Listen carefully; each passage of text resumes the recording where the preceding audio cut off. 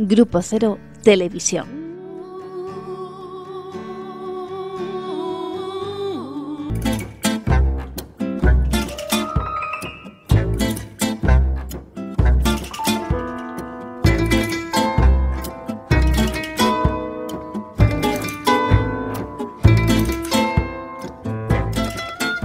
Hola. Hola. Muy buenas. ¿Qué tal? Hola. Poesía más poesía, número sasa.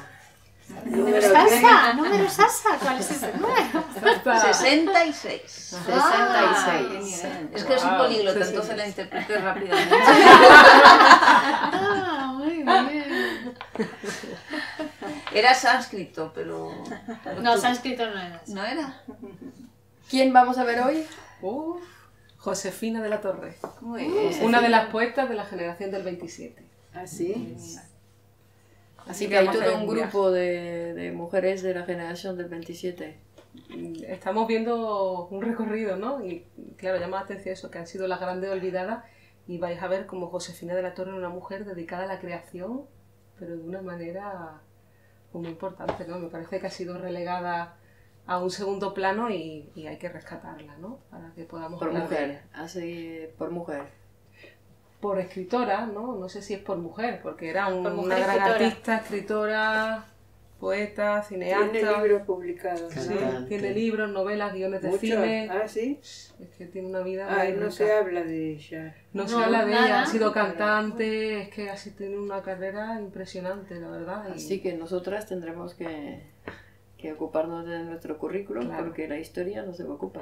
No, no se ocupa. Es muy importante no bajar la voz. Ajá. Estamos en televisión, los espectadores están allí. Si bajamos la voz, Ajá, vale. no nos Que escuchan. sí va a parecer Alto, venga. que... Muy bien, que somos Vale. mujeres que somos tímidas. mujeres tímidas. Venga, vamos allá. Bueno, empezamos con su nacimiento. Josefina de la Torre Millares, nacida en 1907 en el seno de una de las familias más importantes e influyentes de las Islas Canarias. Hija de Bernardo de la Torre y Cominges, hombre de negocio muy comprometido en el desarrollo de la ciudad de Las Palmas de Gran Canaria, y Francisca Millares Cubas, hija del historiador, novelista y músico Agustín Millares Torres. Disfrutó de una infancia rodeada de cultura. Fue la menor de seis hermanos y junto con ellos recibió una educación basada en las artes. Aprendió a tocar el piano, el violín y la guitarra. Y fue su tío, el barítono Néstor de la Torre Cominges, que descubrió la curiosa tesitura de su voz y la inició en clases de canto.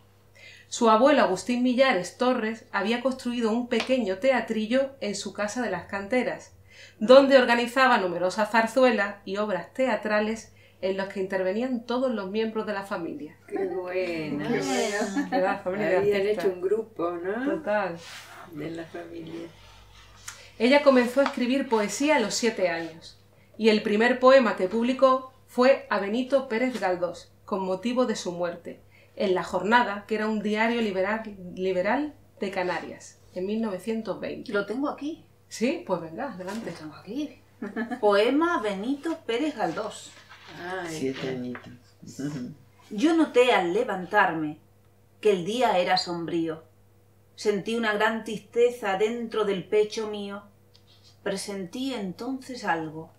Y mi hermana me dijo, ¿Sabes, hermana? ¿Sabes? Se ha muerto don Benito. ¿Don Benito? Aquel viejo que estaba cieguito. Aquel que me gustaba porque me daba el cariño. Hermana, hermana, hermana. ¿Ha muerto don Benito? Todos, todos lloraban, todos, todos los míos, y hasta mi pluma ahora, al escribir, sin ruido, es como si callara. Ya murió don Benito.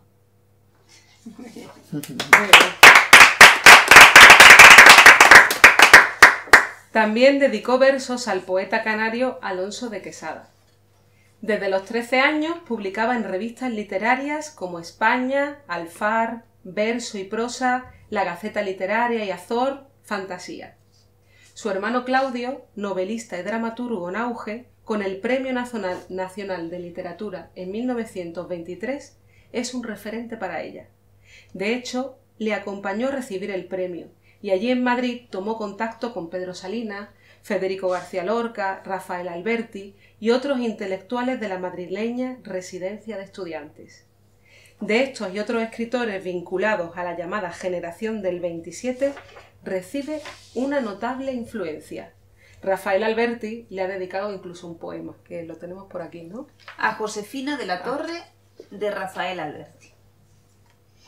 Herida, sobre un toro desmandado, salta la noche de la mar cimbrea.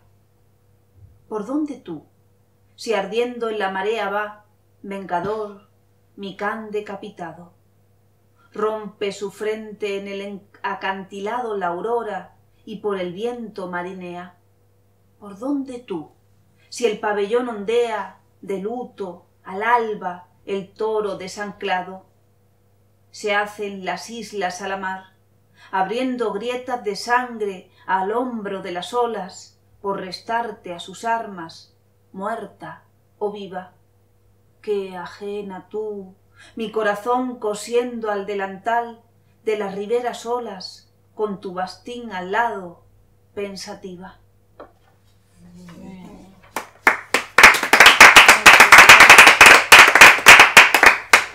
Sobre todo, Josefina habla del estudio de su primo, el pintor Néstor de la Torre, donde confluían los, los poetas de esta generación y donde tuvo especial amistad con Federico García Lorca.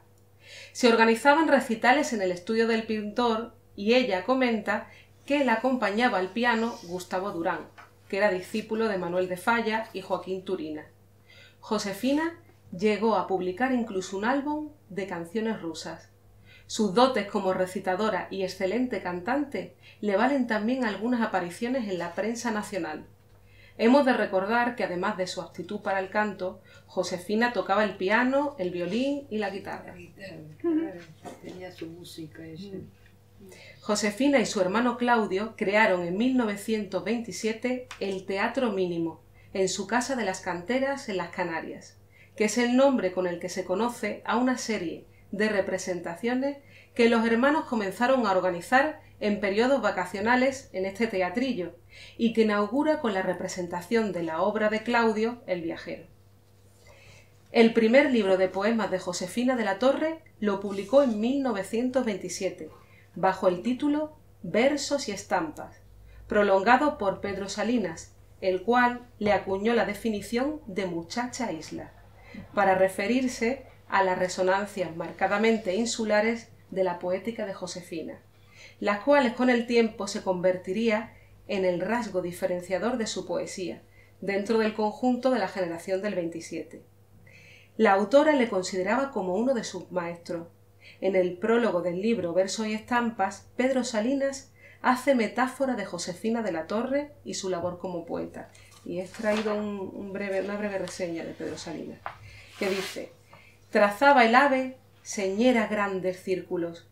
No estuvo ya la isleta en el mar sereno del amanecer, sino trasladada, poseída segura, en el turbio ojo sanguinoliento del águila. Iba descendiendo, vio muchos árboles diferentes, y cobijada por uno de ellos, la presa última inesperada, dulce criatura sola, dormida. Plegó las alas, se abatió inerte, fatal, inevitable, aguzando las jarras en el resto del mundo. Hora de inspiración, hora de poesía, la esperaban en vano los poetas. Sobre la niña, sobre la isla, rodeada de aguas por todas partes. Si tenéis alguno de versos y estampas. Yo tengo poemas de la isla. pero que... Versos y estampas. Eh, el número uno. Sobre la superficie del mar encandilado de las seis de la tarde, saltan algunos peces que dejan sobre el agua, al caer, una onda. Así, a trechos, bordado el mar por esta aguja, parece que sonríe. Sonrisas que se ensanchan y cierran lentamente sonreír de la orilla, encaje de la falda, azul y transparente. Tengo otro, el número 13. sobre el mar, bajo el cielo, blancas, tensas, vienen todas las velas desplegadas en el aire dorado y transparente, y en la proa, delgada como brisa, la corona de espuma alborotada es adorno rizado de su frente. En la playa, de oro soleada, las mujeres esperan a las barcas con los ojos al mar intensamente, y en el ramo de velas olorosas, brisa de mar, aroma de mariscos, hay un anhelo cálido y creciente. Cuánto diera por ver llegar un día la barca con la blanca vela al viento, con rumbo hacia la orilla, derrizada, y en pie en la proa, tijera de los mares, a ti todos mis sueños, presentido con el azul del mar en la mirada.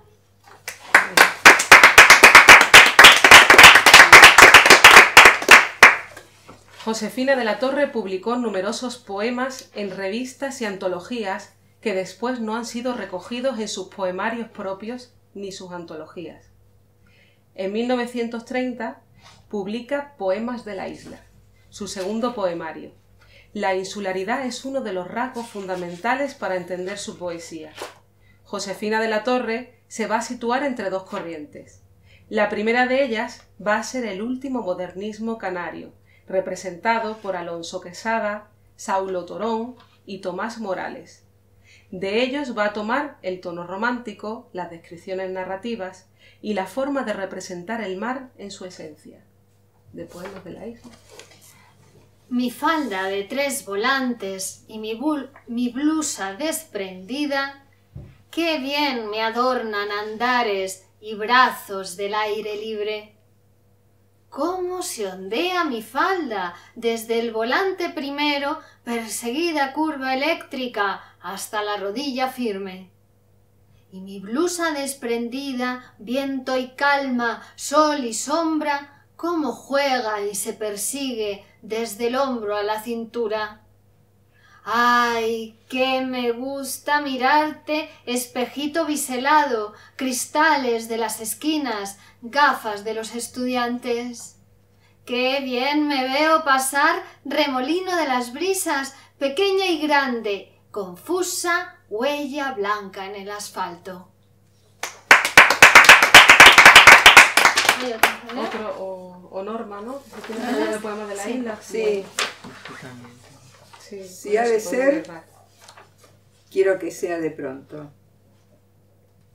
Cuando yo piense en horizontes dormidos y en el mar sobre la playa.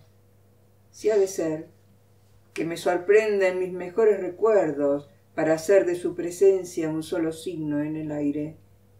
Dormida, no, ni despierta. Si ha de ser, si ha de ser quiero que sea. Muy bien. De la isla? Cerca. Ah. La luz dejó caer su moneda redonda y sobre la moneda de luz quedó mi mano abierta a la limosna. Alrededor la sombra acarició el contorno de las cosas dormidas. Yo me sentía feliz, perdida, sin reflejos, en las paredes libres. Solo mi mano atenta, desdoblada, segura, su única presencia. El afilado borde de luz sobre la sombra sacrificó mi mano en su bandeja intacta. Una, dos, tres, inútil péndulo de las horas. Bueno,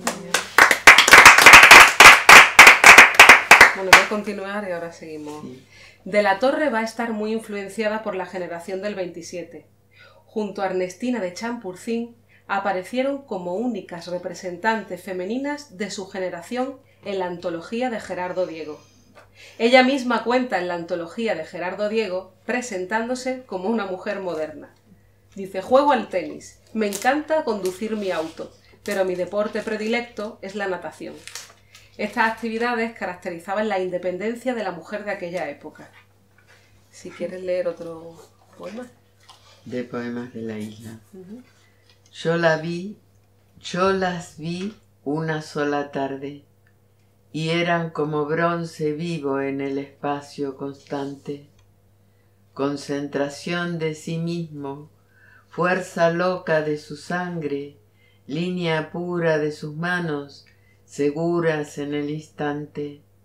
Yo lo vi como lanzaba el vuelo azul de su encaje, venas libres y encendidas de sus brazos incesantes, y era fuerza su dominio, firme gesto del alcance, manos que me estremecían de ese miedo de encontrarse y al borde de mis anillos daban un filo cortante.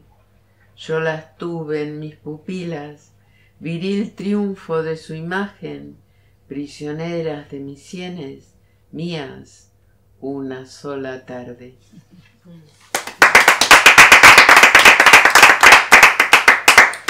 Junto con su hermano Claudio, en 1931, se muda a los estudios franceses de la Paramount, donde empieza a interesarse y a colaborar en la actividad fílmica. Es contratada como actriz de doblaje, siendo su primera intervención en el doblaje de Un secuestro sensacional, de Alexander Hall, donde dobla la actriz Dorothea Wake. Allí conoce a Luis, allí coincide con Luis Buñuel, que pone la voz a uno de los secuestradores del hijo de Miss Faines. Vivió un romance con Luis Buñuel, pero en palabras de Josefina, dice que como él estaba con otra persona, no continuaron la relación amorosa. Es también la actriz de doblaje de Marlene Dietrich y ella tiene, tenía una fotografía de Marlene dedicada a ella, ¿no? Porque sabía que era, le doblaba la voz en, sus películas. Si queréis continuar algún poema. Yo tengo uno de poemas de la isla. Pero no me dejes sola. Dime palabras y ritmos y gestos para el alcance y voces acompasadas. Pero no me dejes sola no es presencia ni vaivén, ni caminito seguro, ni ruedecitas del aire, ni luz, ni sol, ni mañana. Es un presente, constante, aquí, cerca, más, despierto, vivo, alerta, repetido, único instinto posible. Dime tu palabra intacta, de luz repetida y libre, pero no me dejes sola.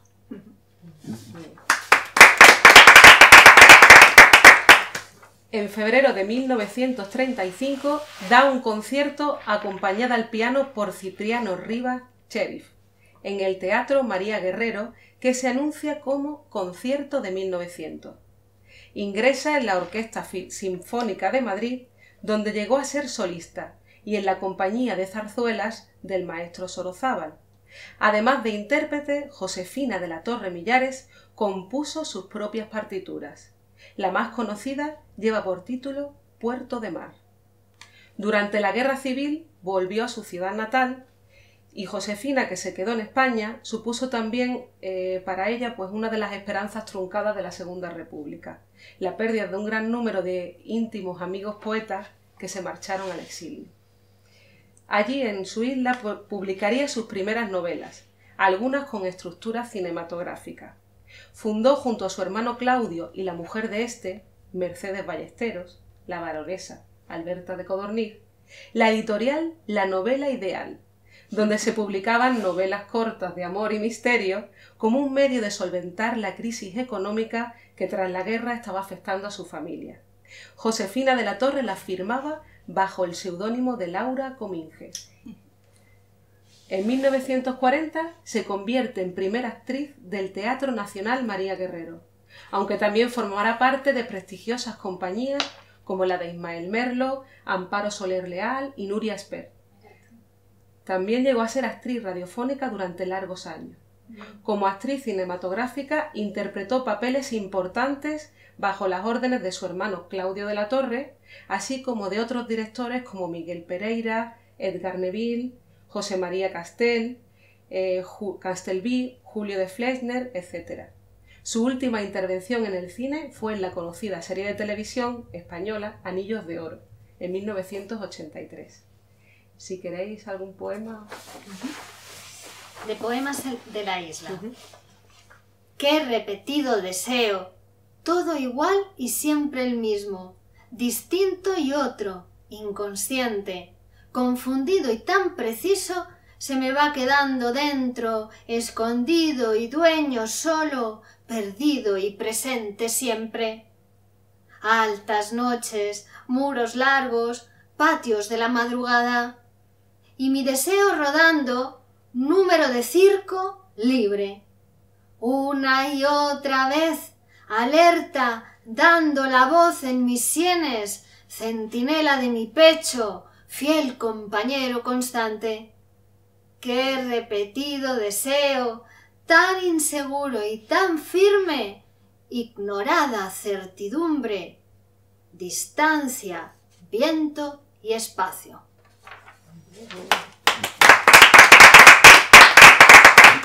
¿Puedes leernos otro? Cerca, palabra inútil. Yo te busco por donde llega mi distancia. Cerca, seguro instante de sorpresas.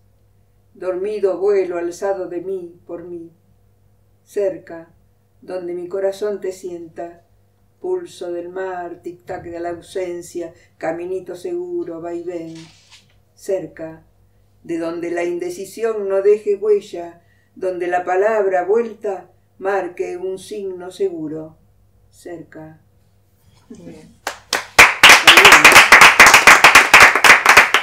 También ejerce como guionista en la película Una herencia en París, dirigida por el mexicano Miguel Pereira.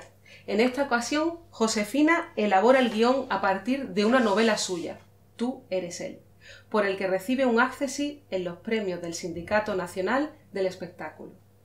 Años después publicará una novela, Memorias de una estrella, donde la protagonista es una actriz que abandona en pleno éxito, decepcionada, con un entorno que considera frívolo y mezquino.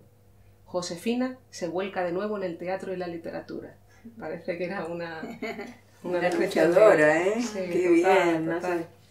No Sí se que- la podía derrotar. Ah, se metía en todo. En todo, en todo. Si no era una cosa, te, Sí, te acababa con otra. claro. Decepcionada, cambiaba. Claro, tenía Tocaba tantos todo. amores que... Total. Si nos puedes leer un poema. Por supuesto. Gracias. La tarde. La tarde tiene sueño y se acuesta en las copas de los árboles. Se le apagan los ojos de mirar a la calle donde el día ha colgado sus horas, incansable. La tarde tiene sueño y se duerme mecida por los árboles. El viento se la lleva, oscilando su sueño en el aire. Mira, si nos quieres leer el otro, el poema de la isla. Esquina de la tarde se perdían por la línea segura de tus brazos. Firme perfil del aire, tú llevabas enemigo seguro frente a frente. Yo era implacable juez desde la proa afilada y valiente de tu ritmo, y la curva constante de tu brazo, repetida y distinta, cada vez más segura y presente en su dominio, me cruzaba de impulsos la mirada. Yo iba segura allí, frente a tus brazos, perseguidos de sol y de reflejos, desprendidas esquinas de la tarde me marcaban la voz de tu presencia. En 1944 se convirtió en primera actriz del Teatro Invisible de Radio Nacional. Al parecer le habían ofrecido su dirección, pero ella se la cede a su hermano Claudio. Hasta 1957 desarrolla esta actividad y luego pasará a formar parte de La Voz de Madrid, en Radio Madrid. En 1946 funda su propia compañía teatral, la Compañía de Comedias Josefina de la Torre, junto a Ramón Corroto, el que sería después su marido, con la dirección artística de su hermano Claudio de la Torre. También colaboró en otras compañías hasta 1958, como Teatro de Cámara del Teatro Español, Compañía de Teatro Nacional de Cámara y Ensayo, Teatro María Guerrero, Pequeño Teatro Dido y Teatro de Cámara Toar, etc. Asimismo, en la década de los 70, de los 60, Josefina forma parte, entre otras, de las compañías de Amparo Soler Leal, Nuria Esper, María Fernanda de Ocón y Vicente Parra. En 1968 publica Marzo Incompleto, su tercer poemario. Con la publicación de Marzo Incompleto se va a producir un cambio en su voz poética. ¿Alguna de Marzo Incompleto? Sí. Ah, sí. Llevabas. Llevabas en los pies arena blanca de una playa desconocida. Por eso, cuando a mí llegaste, no sentí tus pisadas. Llevabas en la voz desnuda un compás de espera. Por eso, cuando me hablaste, no pude medir tu voz. Llevabas en las manos abiertas espuma blanca de aquel mar. Por eso, de tu bienvenida no pude conservar la huella. Todo tú venías en mi busca y no pude reconocerte. Arena blanca, compás de espera, espuma blanca, inquieto sueño de la verde orilla, rizado de preguntas. Muy bien. Muy bien. La verde orilla rizada de preguntas, ¿no? Ella, la espuma del mar ahí, ¿no? Risa, que risa. Sí. Pero rizada de preguntas, dice. Muy bien. Tengo uno, se los leo. Dice, vale. soñábamos un mundo fabuloso. Juntos hubiéramos sembrado campos, construido fortalezas, vencedores, porque oíamos ambos igual eco. Hoy nuestros hijos ya serían hombres, muchachas que sonrieran su esperanza, hijos de nuestro amor, árboles fuertes a cuya sombra nos acogeríamos. Jamás el mar hubiera, hubiese apartado de mi contemplación, hija de la isla, porque allá en su rincón el mar antiguo habríame esperado cada hastío. En las cuatro paredes de su cada, de su casa debe ser, aquella que en imagen yo habitara, hubiéramos vivido nuestras horas, qué jóvenes y fuertes los dos éramos, edad nueva, increíble, misteriosa, que entonces parecíamos sencilla y hoy la sueño, impalpable, ya perdida.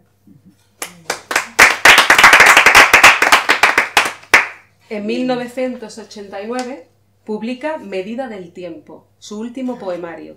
La muerte de su marido, el actor Ramón Corroto, en 1980 se refleja en sus páginas. Treinta años más joven que ella, fue su gran amor y esposo. Treinta años. Más joven que ella. Ella había estado, bueno, habían estado casados tres Pero él años. se muere antes. Sí, se muere antes. Habían estado casados No, tres no te años. asegura nada. Claro. Ni 30 años. ¿Qué va? Habían estado casados tres años después de una larga convivencia y ella tras un primer matrimonio con Braulio Pérez, que era un gran pianista y dicen un vividor, con el que le duró el matrimonio unos meses. Durante su juventud ella trae también un, noviazgo con el médico ginecólogo gran canario Juan Guerra del Río, hermano del ministro republicano Rafael Guerra del Río, al que siempre le tuvo mucho afecto y cariño. Tenéis el poema junto a la cama que refleja un poco ese, ese amor con él. Allí, junto a la cama. Allí, junto a la cama, están tus gafas. Sus cristales vacíos son como dos lagunas sin orillas. Las cojo entre mis manos y las contemplo absorta. Detrás están tus ojos, los presiento, ahondando la mirada, y las apoyo con ternura sobre el pecho, como si tu cabeza reposara. Las beso. Son tus ojos queridos mirándome a través de la ausencia, tus ojos tan vitales en tus últimos días apagados, tristes, mudos, que me miraban en silencio, anegándome el alma de contenidas lágrimas.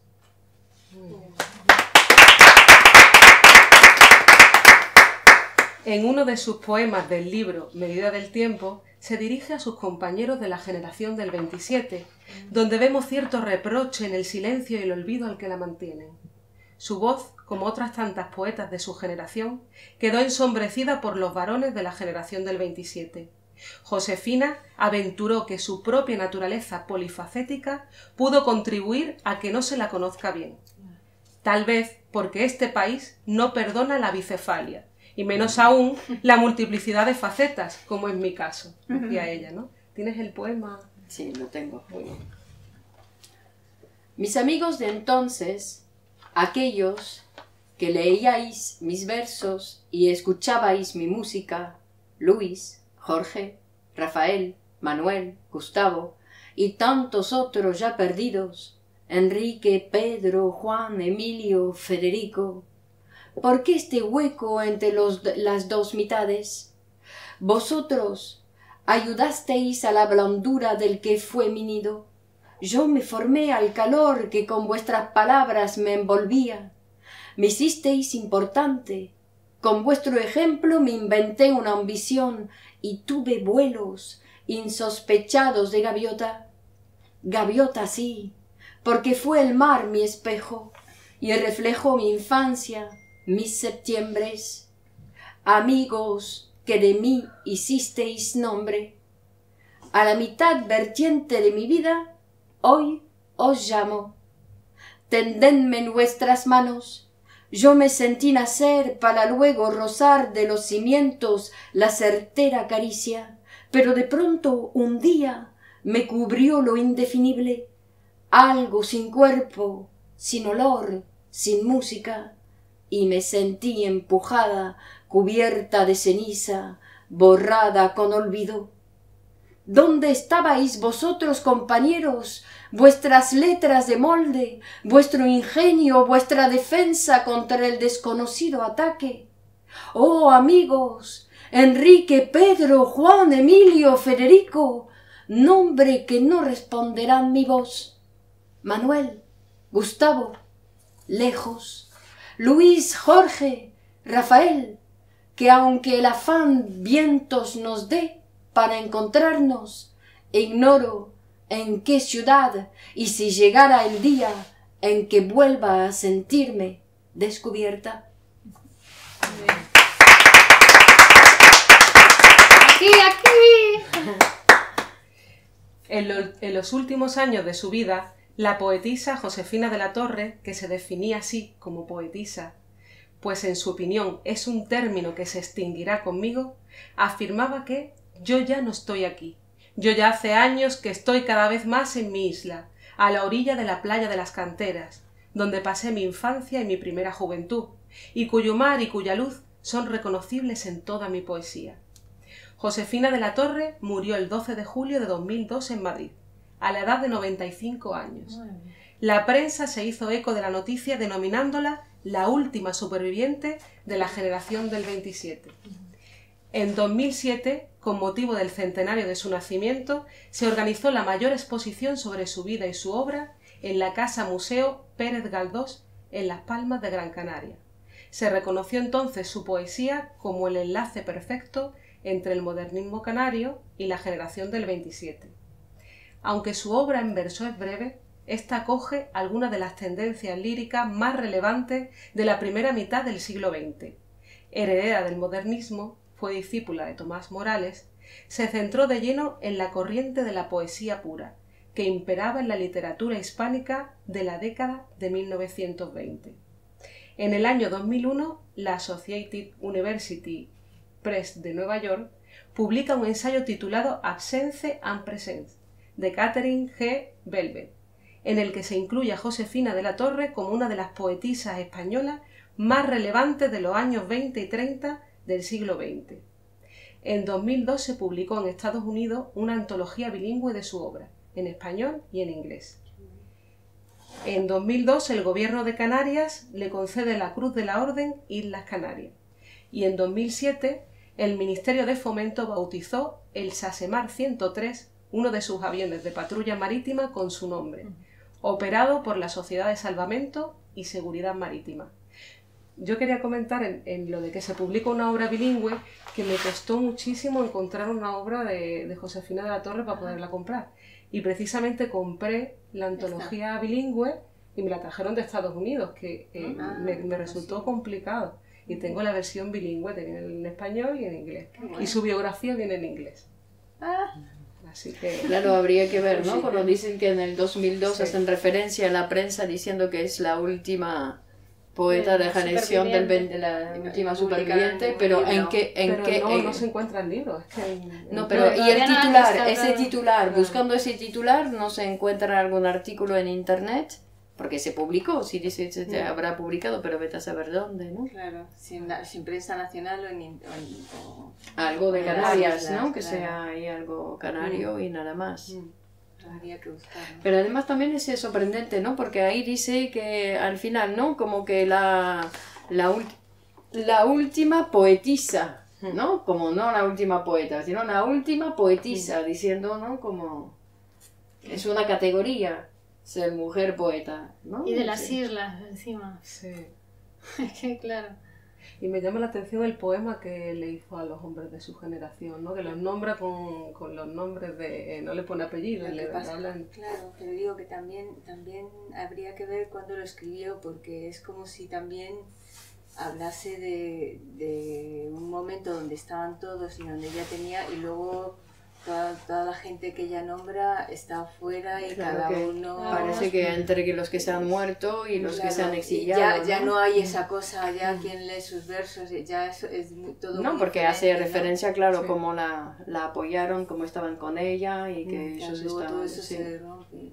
Vino la guerra ahí. que- Bueno, con Gabriel sí. Zelaya también se dice, ¿no? Ah. Que se encontró después de la guerra, él se encontró Él muy... dice, él dice que, sí, que estaba muy solo estaba y es decir que Se se rompió, solo. ¿no? Muchas Mm. cosas después de la Se guerra. rompieron muchos vínculos, Y muchos sí, claro, proyectos, trabajos, y todo y todo ese ambiente digo literario Todo y de se artístico y Al final la Se guerra lo rompió, consiguió, Pero ¿no? no solo en la guerra, luego la la dictadura. Pero no fue la guerra, fue la posguerra, ¿no? Porque la guerra también en el exilio se unieron y escribieron, ¿no? Y aquí quien, quien continuara de una manera más oculta, ¿no? Pero también siguieron escribiendo.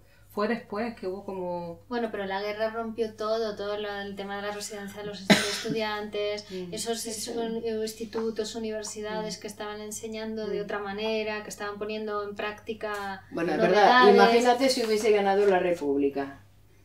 ¿No? Es verdad que se volviera con, ¿no? Se hubiese de nuevo... Pero Era una revolución, es que era en lo social, la mujer no se definía como moderna, era una auténtica revolución para la sociedad. La mujer, bueno, fue la que más padeció, fue- fue padeció la guerra y las consecuencias de la guerra, la dictadura en la mujer. Principios del siglo pasado fue. En 1936, 1936-39 fue la guerra. ella se dedicó a trabajar A ¿En trabajar. qué año. ¿en qué año nació? música Ella es- nació en el 1907. En 1907. Claro, desde, desde niña estaba como muy bien, Primera ¿no? Pasó, pasó el siglo, ¿no? Digo que Llegó ya al tenía un montón de 2002. actividades que realizaba desde pequeñita, o sea, Claro, como lugares donde poner toda su, su energía Mm. y en eso. En esos caminos. Aprovechó las oportunidades que le brindó la vida, Lo ¿no? conquistó. Y las produjo ella, ¿no? Una cosa También. se iba a otra, y no a otra. Claro, pero una artista desde niña, porque ya tocaba el piano, de violín y la guitarra, y estaba rodeado de, claro, ¿no? Bueno, pero que Como no la nosotros. abandonó. Claro, No. pero no la abandonó. No. Porque hay muchos nenes que son artistas ahí de pequeño. Es bastante Sí. fácil para el Sí, niño. Están rodeados de sí. una No, familia de hasta, artistas. hasta, hasta los, los padres los dejan. Pero después llega, ¿no? Acuérdate, Sí. la universidad y ¡pum! Sí, es verdad. Pero ella siguió. Lo del teatro Así está que es una genial, ¿no? Lo que heroína, ¿no? hacían, eh, hacían eh, Sí. ópera, ¿no? Ah, No, he dicho No, en la zarzuela. academia. teatro. Ah, Zarzuela. Zarzuela, teatro. Inventaron un teatro, va, crearon un Crearon un teatro, teatro, ¿no? ¿eh? ¿Cómo no Consiguieron es? un local, qué lindo En su casa, eh. En la, una casa. en la misma casa. No, y las tertulias de poetas también para leerse sus poemas. Bueno, También pero habría que ver porque ¿Quién murió, murió en Madrid en el 2002. Sí. Digo que nosotras estábamos en el 2002. Sí. Sí, claro. Digo que no, no supimos ni de su existencia ni de, ni de nada. Pero si ya te digo, para encontrar un libro he tenido que pedirlo a Estados Unidos. Sí, ¿Cuándo sí, pasa de Canarias a Madrid? No, eso no lo dice. De Canarias a Madrid. Claro, porque se muere en Madrid, pero quizás... Francia, digo que viaja. Sí, claro. Sí, al pero al final de su vida, ¿no? No, los estudios cinema- cinematográficos fue el 31, parece. No, pero digo que... Vuelve a Madrid en... no sé cuándo, pero que no lo Antes dice, de la pero... guerra. De la guerra Eh. Fue una en la, en la guerra, durante la guerra se volvió a Canarias, luego volvió otra vez a Madrid. Es que claro, en. Madrid estaba todo el movimiento artístico. eh, Claro, ya quería hacer teatro y tenía que trasladarse a Madrid, porque allí en Canarias tenía su teatro allí en la cantera y había poco más. En Madrid era todo mucho más centralizado, ¿no? Donde había teatros, había... ¿Y en qué campo fue más? Porque quizá en el campo del canto eh, tuvo Sea más más, conocida. más, cono- ¿no? más fue más conocida. Es que fue cambiando, ¿no? Cuando se desilusionaba creo- por el sí, mundo, yo creo que en el, campo, en el que- campo del Novela, escritura, guiones de cine. Estuvo Sí, por temporada. También esa todo. unión con su hermano, Mm. Mm. artística, ¿no? Esa Muy colaboración a lo largo de los años muy Siempre interesante. trabajaron Sí. juntos. Un compañero ahí. ¿Hemos leído todo? Sí, bueno, no sé si queda algún A mí poema. me queda Queda uno. que busco y no me. ¿De qué libro? No sé. Eso es del final, es que ya digo que a veces es difícil, yo porque me compré el libro, pero mm, identificar de, de qué libro es ¿De cada qué poema libro? me costó un poco por eso, porque no hay mucha información de su poema. Destino. Destino. ¿Qué hombre es el tuyo? ¿Qué nombre es el tuyo, cruel y despiadado, que te enfrentas altivo a la humanidad? Destino, que nos niegas el pan y la sal, que desafías a nuestras vidas, a nuestros horizontes, al latido de nuestras venas destino implacable, inconmovible, dura piedra contra la que nos estrellamos, pobres seres indefensos, con las ilusiones colgando de nuestras heridas. Destino inhumano que nos marca ferozmente, toro asesino que nos ensartas en tus astas como peleles indefensos. ¿Qué nombre es el tuyo, granítico, cimiento indestructible que barres nuestros latidos, nuestras arterias?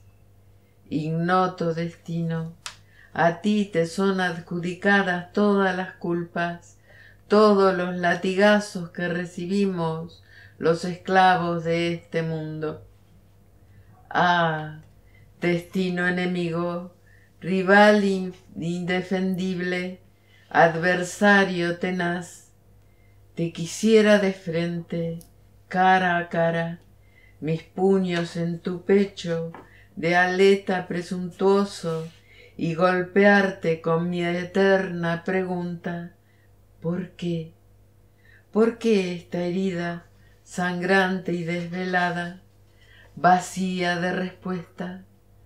Oh destino, y una y otra vez lanzar mis puños contra tu inexpugnable fortaleza hasta sentir tu sangre, sangre mía, caliente fuego de mi mortal miseria.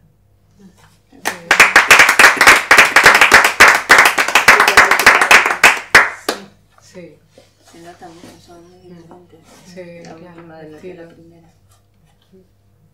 ¿Tienes un- La primera es más influida por Lorca, parece, ¿no? Tiene más música lorquiana. Me busco y no me encuentro. Es de Poemas de Marzo Incompleto. Me busco y no me encuentro. Rondo por las oscuridades, paredes de mí misma. Interrogo al silencio y este torpe vacío y no acierto en el eco de mis incertidumbres. No me encuentro a mí misma. Y ahora voy como dormida en las tinieblas, tanteando la noche de todas las esquinas. No puede ser tierra, ni esencia, ni armonía, que son fruto, sonido, creación, universo. No está desalentan- desalentado y lento desgranarse, que convierte en preguntas todo cuanto es herida, y ronda por las sordas paredes de mí misma, esperando el momento de descubrir mi sombra.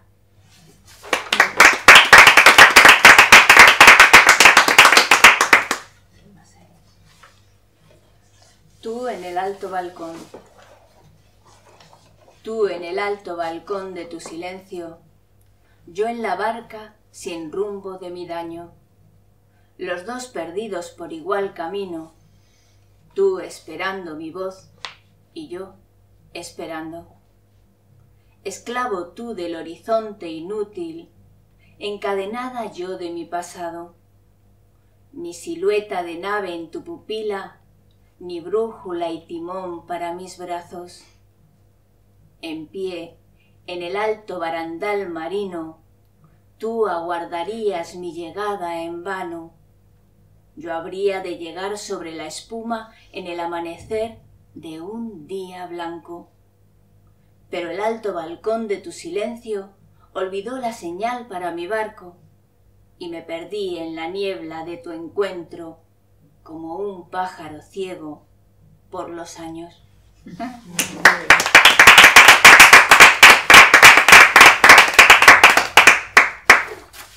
Hemos terminado, ¿no? Primera parte terminada. Pasamos a la segunda parte. Traemos de nuevo a nuestro poeta Miguel Oscar Menaza con esta vez el libro La mujer y yo, ya que vamos a enseñar ¿no? ese poeta que tanto ha escrito sobre la mujer. Eh, Virginia, ¿tú tienes algo Sí, escrito para escribí una- presentar ahí? Bueno, Escribí vamos. una página. Muy bien. Voy a. Sobre el libro La mujer y yo, de Miguel Oscar Menasa. 47 poemas componen este libro, bellamente presentado por la dulzura de un beso. El del poeta y su mujer, la mujer, abrazando con sus propias manos el estallido del deseo. Deseo que en este libro se diferencia del goce, del amor. Palabras puestas en los labios de él o en los de ella, pero la poesía comanda en todo momento exactamente una partida de ajedrez lujuriosamente abierta a la verdad. Miguel Oscar Menasa es un prolífico autor, el que más haya estudiado a la mujer y su psiquismo inconsciente. Continente negro para Lacan, lo desconocido en Freud, esa mujer que no es sino en el golpe de la vara sobre el mimbre el estallido espectacular de un sonido cósmico. Palabras sutiles como un viento en primavera, pájaros abominables diluidos en el tiempo de las alegrías, ojos abiertos a la ficción de nuestros deseos, sometidos al sortilegio que alarga la vida hasta expandirse. Bello animal es ella, la estrella abierta al corazón. En este libro, el bello autor que es Menasa hace este regalo a la mujer. Como mandato social, él es erigido el poeta de la mujer, por la mujer. Cantor que alza nuestros sueños como aeroplanos sobrevolando todo silencio. El poeta Miguel Oscar Menasa dice que escribió este libro en una semana y que lo sentía completamente ajeno a él cuando lo estaba escribiendo. Trabajador incansable, lleva más de 40 años dedicado a la conjunción poesía y psicoanálisis y la difusión de la misma, engarzando al amor la pulsación constante del punto, la raíz de las diferencias, temblor del tiempo. Muy bien. Bueno, nos leemos unos cuantos. Aquí no tienen títulos, tienen números. 18. Ser viejo como ser rico, le dije, es una propuesta de la mente. Y ella contenta me preguntó, ¿acaso no habremos de morir si escribimos y hablamos?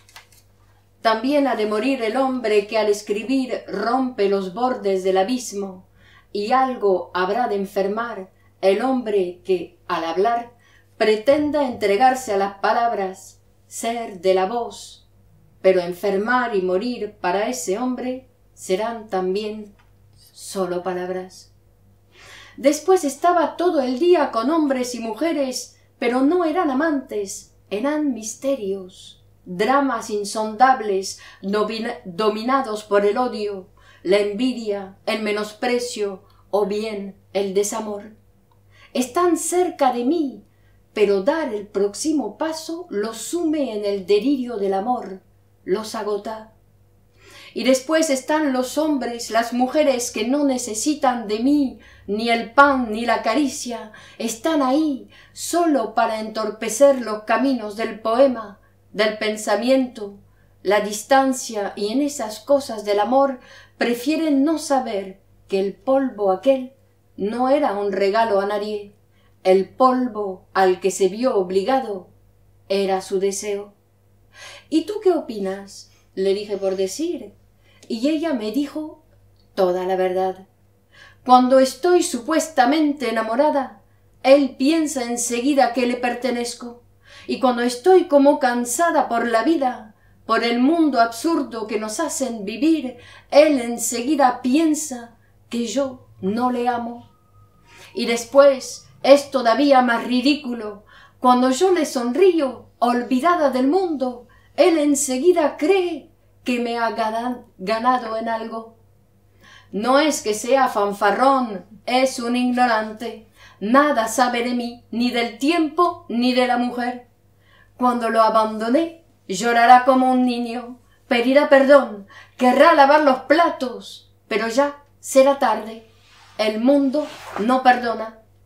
Entonces, pobre hombre, será mujer y niño al mismo tiempo que hombre, y nadie lo amará. Como hombre, nadie lo amará, porque su hombre ha renunciado a serlo, y tal cual una mujer, nadie la amará, por no diferenciar lo grande de lo bueno, y como niño, el pobre hará cosas de niño, pero será un hombre que sufrirá por serlo inadecuado el canto, débil la voz.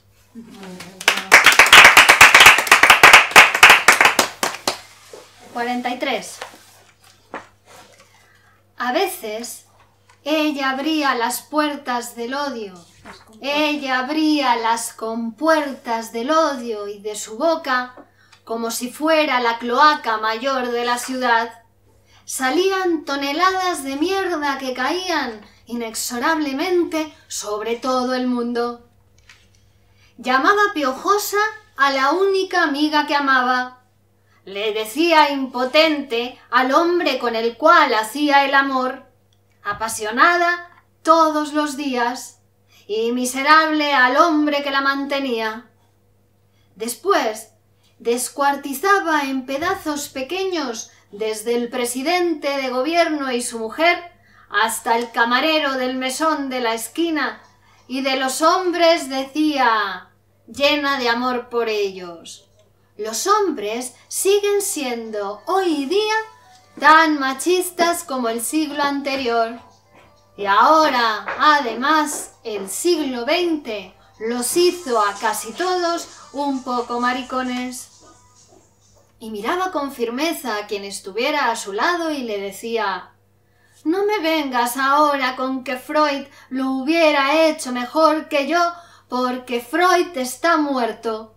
Y me miraba con intensidad y desprecio, como si yo fuera el amante de la muerte. Detente, le dije un día, detente o te daré una patada en el coño que te dejará seca, ahí, para siempre. ¿A mí me vas a pegar? ¿A mí? ¿A mí, marica? No me pegó ningún hombre. Se nota, dije casi sin decir, y me senté en el borde de la cama y me quedé quieto pensando la frase maravillosa y siniestra que me permitiera pegarle. Y ella, al grito de muerte al traidor, como si lo que pasaba fueran los celos, se abalanzó con rabia y fuerza contra las ideas que nos permitían vivir y dijo, con todo el odio acumulado en cien años, a mí no serás tú el que me haga una mujer. Yo necesito un macho que tú nunca serás. y me pegó dos cachetadas como si yo fuera exactamente un niño. Y ahí fue cuando se hizo la frase. Ningún hombre te ha pegado nunca, pero yo soy un marica. Y ahí mismo le acomodé un derechazo en la mandíbula y le partí la cara en dos pedazos desiguales, y luego con la izquierda le rompí el hígado. Cuando la vi cayendo y no podía alcanzarla con mis puños, le di cuatro o cinco patadas en el culo y luego le pisé la cabeza. Al otro día, los dos en el hospital, yo con un ataque de depresión, seguramente por la culpa inconsciente por haberle pegado, y después, en el suelo, cuando ella estaba toda rota, hicimos el amor al estilo clásico. Y ella, toda vendada y entablillada, por un agujerito que le quedaba sano al costado de la boca enrojecida, pudo decirme Hoy te amo. Ayer estuve con un macho verdadero. Yo me sonrojé frente a la enfermera y como no deseaba pasar el resto de mi vida en la cárcel, esa misma mañana comencé un tratamiento psicoanalítico. son relaciones de pareja, ¿no? Son relaciones de pareja, que no es, es la mujer, pero también es él, ¿no? En, en los dos poemas ahí se vio claramente. Claro. Bueno, voy a leer yo el número 16. Cuando ella me atacaba sin motivos, yo casi siempre pensaba lo peor. Celos, o dolor, o falta de dinero, o la muerte de un familiar querido, o la central eléctrica que saltó en mil pedazos, una guerra imprevista, la fortuna extraviada, o millones de niños muriéndose de hambre. Mas ella dijo No, hoy no me pasa nada. Hoy te ataco porque tengo motivos, pero aclararte quiero que, para el dolor, alcanza un solo ser, querido, muerto. No busco especialmente casi nada. Cuando me llevo por delante lo que buscaba, algo encuentro, pero vuelvo a perderlo en el próximo paso, la próxima frase, el polvo próximo, la poesía ahí.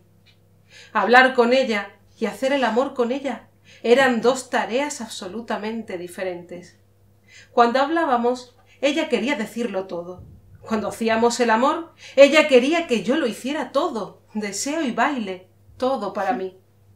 La primera vez que la interrumpí para poder decir mis cosas, me dijo que no fuera machista, que la dejara hablar libremente, que la dejara desarrollar su vida. La primera vez que le dije que fuera más activa sexualmente, ella me dijo casi sin inmutarse ¿Por qué no contratas a una bailarina? O mejor todavía, un profesor de danza o una masajista clónica y acelerada. Y con tanto movimiento no habría poesía. Así que calla y come, y luego descansa, ama con pasión esta quietud y escribe.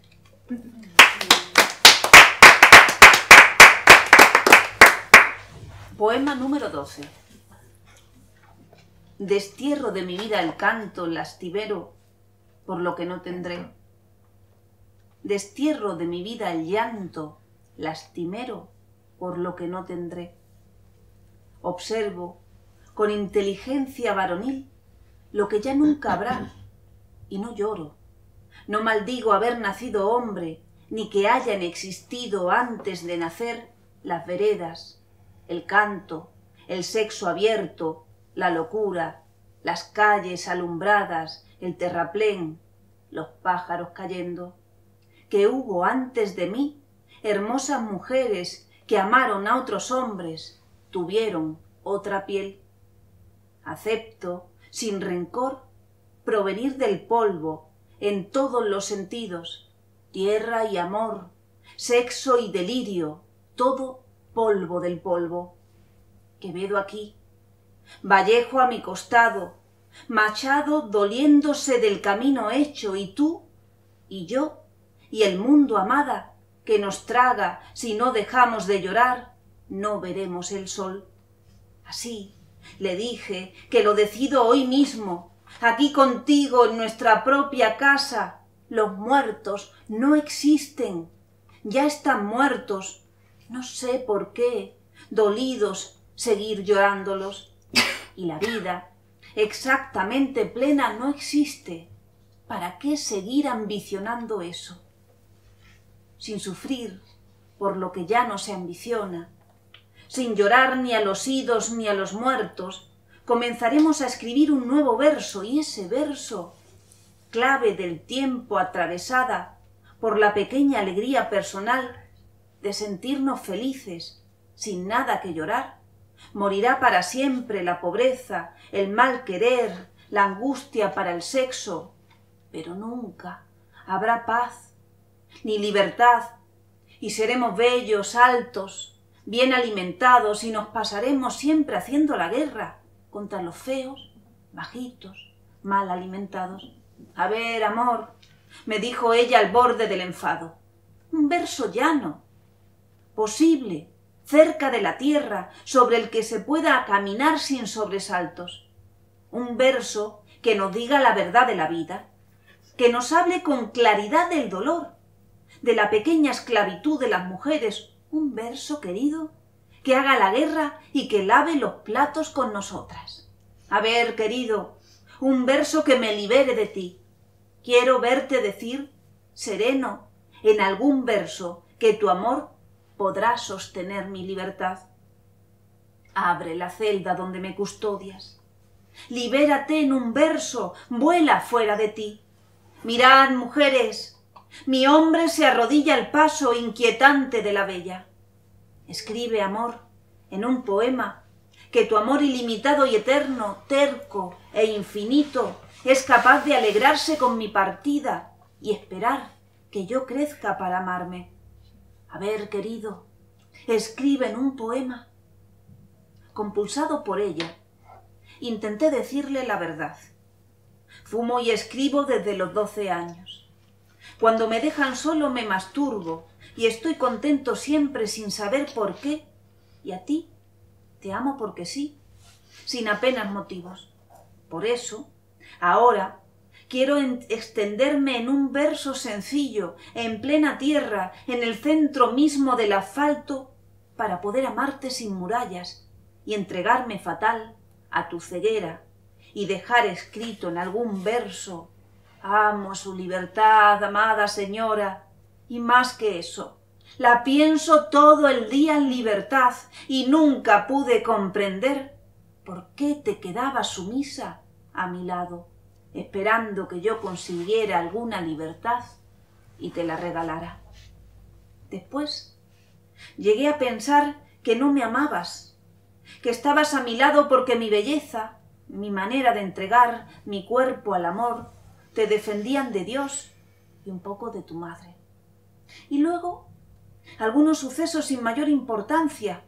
Siempre necesitabas un dinero que nunca tenías, eras terca y celosa de la manera más sencilla. No quiero, no quiero, no quiero y no me importa. Y te abrías de piernas y cerrabas tu corazón. Y yo no te comprendía, pero te amaba. Te amaba con fervor, sensible a tus palabras, siempre te hice creer que te deseaba, que era yo el que quería eso o aquello. Trabajé duramente hasta conseguir construir en el mundo tus ambiciones, pero te decía, te hacía creer que mías eran tus ideas. Ella me interrumpió convulsionada para decir, es verdad que hay cosas que Dios no me permite, y de preferir Preferiría que mi madre viva para siempre. Y también es verdad que ciertas tardes se hicieron algo más claras con tu dinero, pero yo, mi querido, quiero dejar claro que no soy ni terca ni envidiosa. Y me gustaría recordarte sin malas intenciones que la primera escena de celos me la hiciste tú. Y desear, mi amor, ¿quién entiende el desear? Tú me deseas, me deseas, así quieres que crea, pero solo me besas cuando siento ese ardor, cuando mis labios se incendian de locura. Tú me deseas, tú me deseas, así lo dices, y yo ni puedo siquiera tolerar la ternura. Pero cuando yo transcurro indiferente a tus caricias, a tus besos ardientes, sin pronunciar gemidos ni palabras, enloqueces de sentirte impotente. Y cuando consigo pensar en otra mujer, el deseo, mi deseo por ella, corroe tus entrañas. Y como un niño gozas, y juegas como un niño, y como un niño solo vives por mi deseo. No quise responderle, mas le dije, mi madre vive en ultratumba, en un paraje por mí desconocido. Y niño soy, y seré siempre, mas no alcanza. Y en cuanto al goce te diré, estás en lo cierto. Un hombre solo goza si ella lo desea. Y cuando ella se equivoca y desea con fuerza, el hombre vuelve a que él vuelva del mundo derrotado y triste. El hombre vuelve a casa triste y derrotado y ella entonces alcanza el cenit de su magia y resucita al moribundo y le concede un sueño. Sueña que eres feliz, querido, que nunca te engañé, que siempre fuiste sincero de tu parte, verdadero.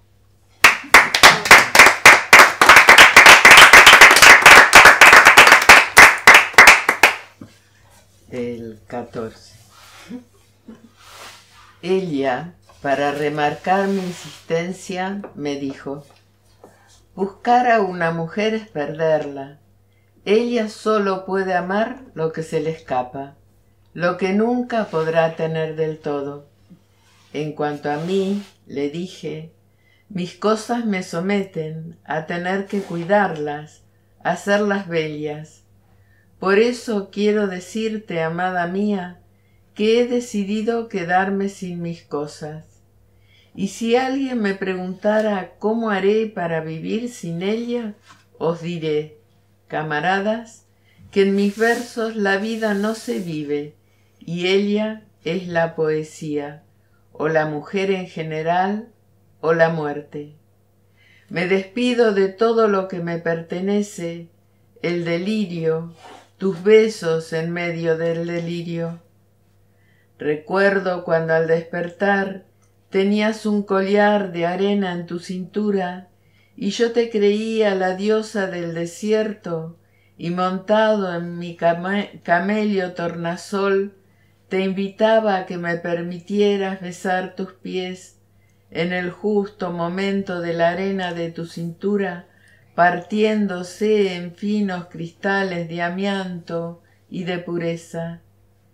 Ahí yo te creía la diosa de los estallidos, y los diamantes como pequeñas flores adornaban la melancolía del paisaje.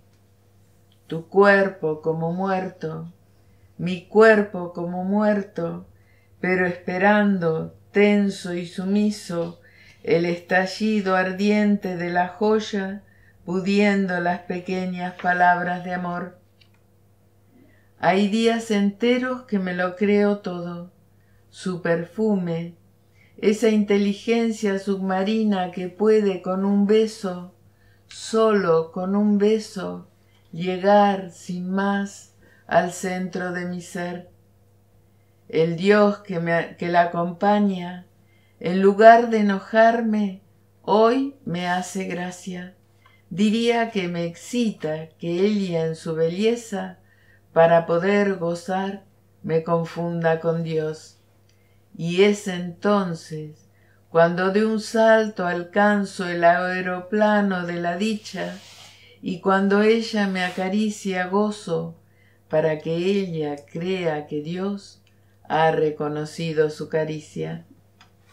Yo muchas veces me quedo quieto, ahí, tratando de escribir un poema esperanzado en encontrar, sin hacer nada, sobre la hoja en blanco, escrito un gran poema donde el amor, enloquecido y tenaz, reina también sobre el amor.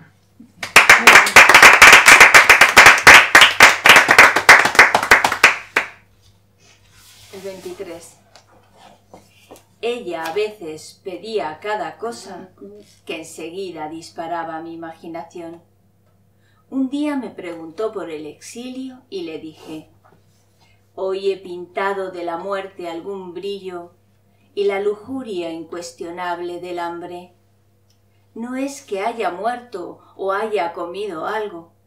Fue un verde que rasgó la realidad, que atravesó los rojos y los serenos malvas, que se adueñó del centro de la vida, que fue a la vez verde y canción, verde y fuego y sombra y corazón, y sembró todo el mundo de cuerpos verdes floreciendo al amor. No fue la luna posándose en mi mano, fue el plata de mi infancia, donde un río era agua y metal, reflejo y movimiento. Cuando la plata de mi río canta, hasta el sol se estremece tal cual un hombre lujurioso frente a los brillos de la amada. El río turbio y varón y la mujer de plata hacen frente a una ciudad desconsolada de una manera permanente el amor. Después dibujo una clara princesa en un nuevo cuaderno y llego de esa manera a Plaza de España y no recuerdo si no es con alegría los primeros años del exilio. De comer no tenía, seguí diciendo, y el frío diferente me congelaba.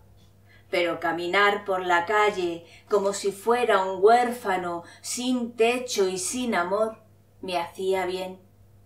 No exactamente fuerte, pero más precavido. Ningún viaje más alterará mi vida. Me quedo aquí, al sur de Europa, en Madrid, para siempre, escribiendo. Sin mirar atrás, le dije mirándola a los ojos, pero tampoco mirando hacia adelante, sin mirar, sentado y escribiendo. Eso es todo y ha pasado mi amor más de un cuarto de siglo y aquí me tienes, sentado y escribiendo. Todo pasó por mí y todo se alejó. Nunca retuve nada y nunca dejé que nada se escapara. Todo lo mío estaba ahí, conmigo, y fui un poema roto o siempre por hacer una piel enamorada de sí misma o muerta. Y las calandrias, eso sí, las calandrias haciendo círculos ilusorios sobre la piel del tiempo, volaban a nuestro lado hasta morir.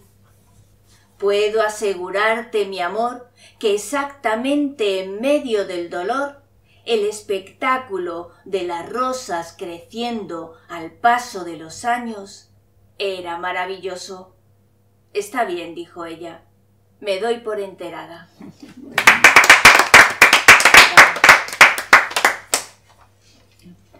El 25 dice, el cuerpo era una verdad incuestionable, pero nadie encontraba la manera de decirlo. Venía, se imponía sobre todo, y al partir dejaba un temblor en el ambiente que nadie podía reconocer como propio. La tiranía de nuestro cuerpo sobre nuestras vidas no tenía límites. Cuando estaba presente lo rompía todo con su prepotencia. Ahora comer, ahora cagar, ahora follar, ahora, ya mismo, ahora, comer aunque no haya comida, cagar mil veces ese montón de nada y follar en un momento inoportuno y siempre con quien no corresponde. Y cuando el cuerpo no está ahí, el hombre comprende su esclavitud ni siquiera un alma fortalecida por el deseo de amar y la amistad puede vivir sin cuerpo. Recapitulemos, amada. Tú me concedes una gracia y me la chupas, por decirlo de alguna manera. Me haces un favor. Con la vida que llevamos en el mundo moderno yo gozo lo que puedo y te agradezco. Pero esta noche me quedé pensando, su boca gozará. Fui recorrido por un escalofrío cuando llegué a decirme, tal vez, solo su boca te ama, tal vez solo su boca te desea. ¿Por qué no conformarme con su boca? ¿Por qué no hacer de esa boca que chupa y que desea todo el tiempo un monumento histórico y tirar a los perros hambrientos con mucho amor todo el resto.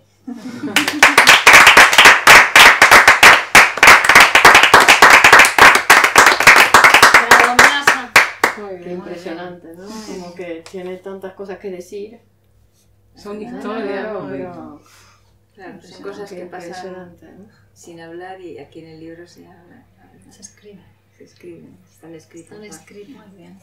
Qué- Bueno. qué bien. Para que cualquiera las lea. No, que decíamos, ¿no? Que en, la- en- en el programa Ellas, que hacíamos referencia a la lectura para vivir otras vidas, mira todas las relaciones ahí que uno puede vivir, ¿no? Y, Tener así. y hay algunas que todavía no se han vivido, que están ahí. ¿no? Claro. Que- Claro, pues, bueno, pero te la puedes vivir leyéndolas. Claro, Digo que claro. no existen. pero- Bueno, seguimos el próximo día. Muchas gracias a todos. Gracias. Y el próximo día estaremos de nuevo. Adiós. Adiós. Buena Chao.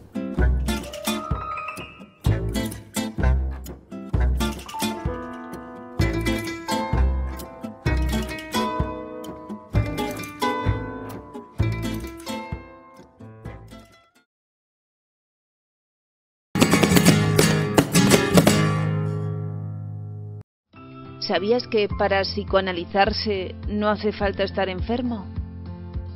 Comienza tu psicoanálisis para vivir mejor los años futuros. Departamento de Clínica Grupo Cero. Teléfono 91 758 19 40.